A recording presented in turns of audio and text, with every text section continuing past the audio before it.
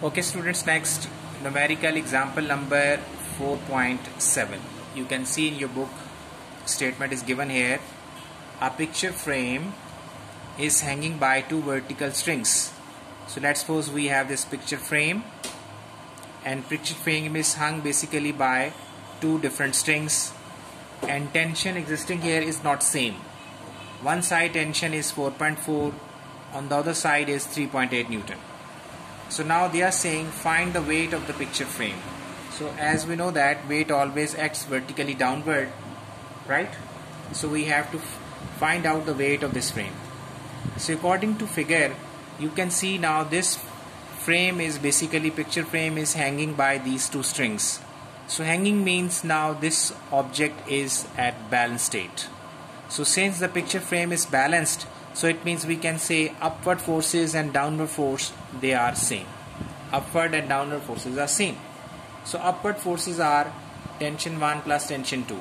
Downward is the only single one force that is W. Okay. T1 and T2 we have 4.4 and 3.8 so it means now W is equals to 8.2 Newton. It means these two forces in the form of tension acting vertically upward and collectively they are basically applying 8.2 newton force upward. So for since this body is balanced it means same 8.2 newton force is being applied downward in the form of this the weight of this picture uh, frame. okay next girls 4.8 so 4.8 situation is if you consider the two different masses which are hanging by these two strings.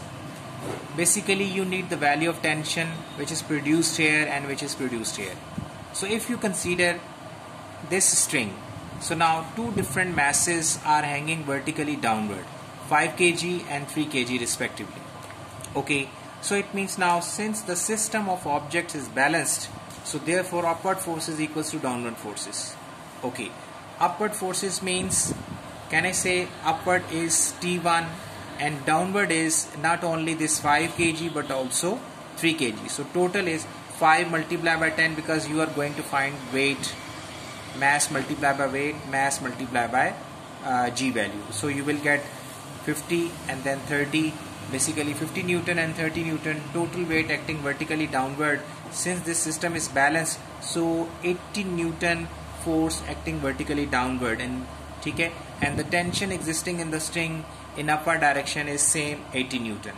That is T1 but if you consider the tension existing in the in this below string so you will see that only one smaller this mass is hanging vertically downward. So the reaction is tension and reaction of tension is same 30 newton. Why? Because 30 newton force is acting vertically downward so it means 30 newton force acting vertically upward.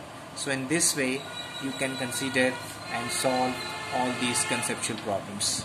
okay so now please watch next and last video for this morning